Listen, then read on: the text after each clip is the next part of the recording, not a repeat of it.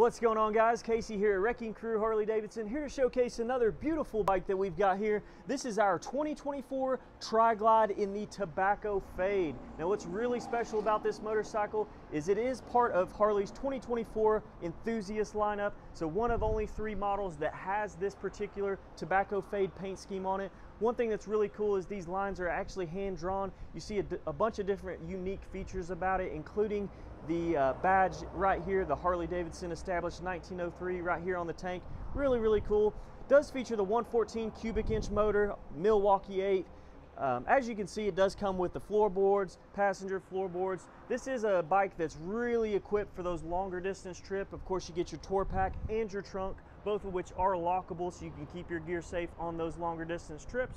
Now, it does have the infotainment system as well, so you guys can have it equipped with the navigation. You do have the USB charger here in that front pocket in your fairing, and it's a really capable motorcycle for you guys to just go touring on. So for those of you who are looking to maybe get off two wheels, get on three, this would be the perfect motorcycle for you, especially if you like that batwing style fairing. So it does have the lowers as well, very, very awesome motorcycle. Why don't you come on down here to Wrecking Crew Harley Davidson, check this bike out. These tracks have been selling left and right like hotcakes, so come check this motorcycle out before it's gone.